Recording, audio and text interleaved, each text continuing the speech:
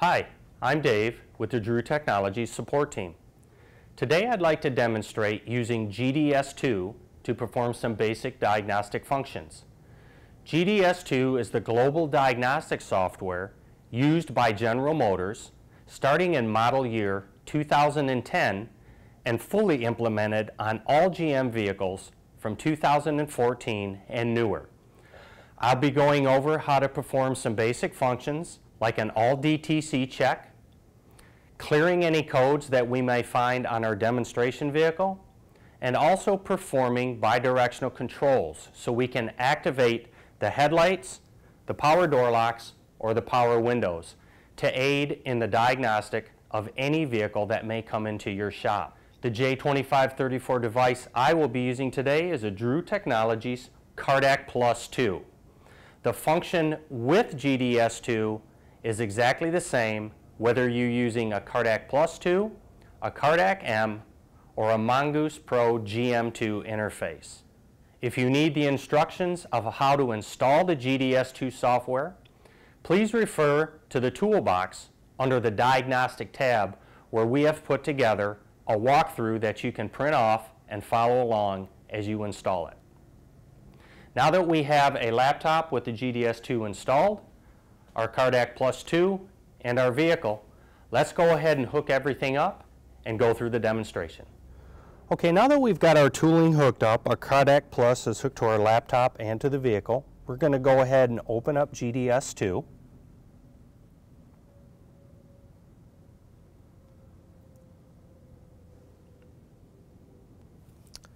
And we're going to go ahead and go into the diagnostics of the vehicle. And it'll automatically connect to our tooling, and as you can see, it's pulled the VIN automatically because we do have our key on. The key does have to be on for it to automatically do that. We're going to go ahead and hit enter. And we're going to go into the vehicle diagnostics system, and we're going to do a vehicle DTC information. Now what this will do is it'll um, ask you a couple of the options of some of the modules and you'll just you'll have to know what they are. And this will go down it'll start querying all the modules in the vehicle and pulling DTCs if there are any. And we can immediately see that in our engine control module we have five DTCs that are stored.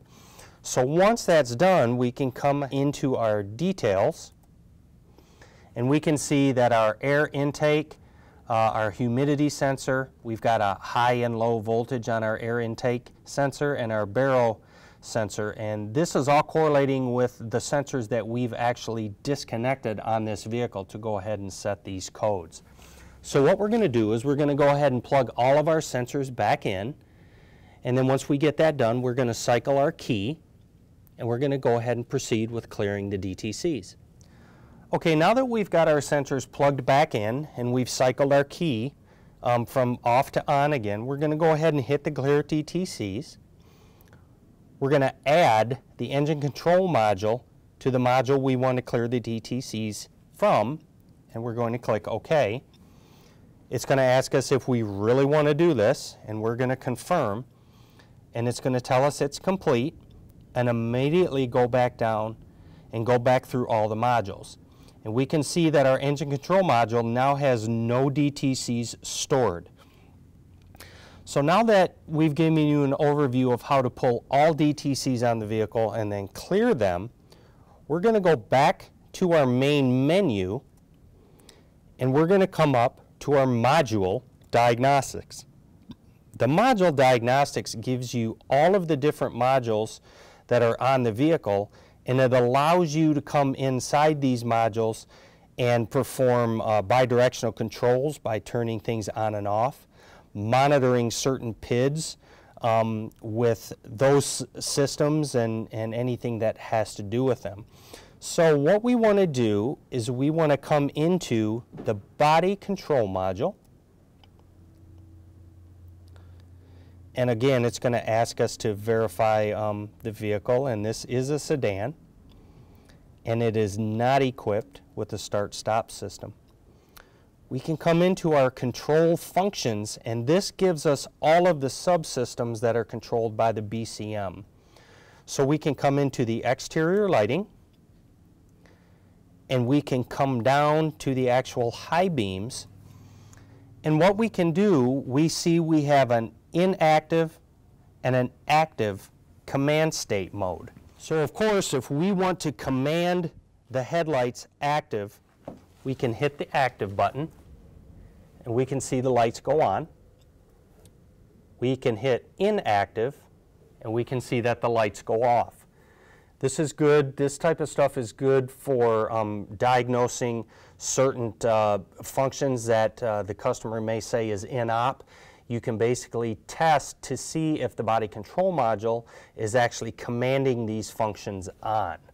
Um, let's go ahead and do another one.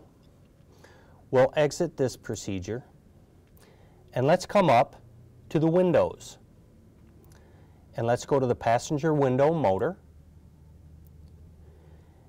And this is just a warning that uh, the express down uh, buttons will only work if the vehicle is equipped with the express up or down.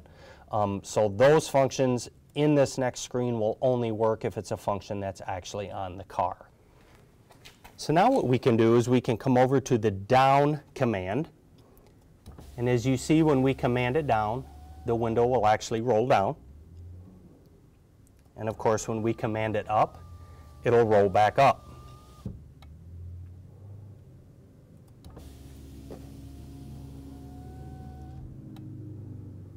The last function that I'd like to show you is we'll come all the way back out and we'll come into the vehicle access, which allows us to actually access the door locks. This is perfect for testing actuators um, of certain doors, whether they're working or not. Um, you can activate this command, and if you have a door that is not working or a door lock actuator that's not working, you can activate this command to actually see if you have the powers in the grounds at the actuators at the given command. So here if we go ahead and activate all door locks, you can see that the door locks, and we'll go ahead and we'll go passenger door unlock, and you can see that the command is sent to the passenger door and it unlocks it. So let's go ahead and back out, come back to our main menu.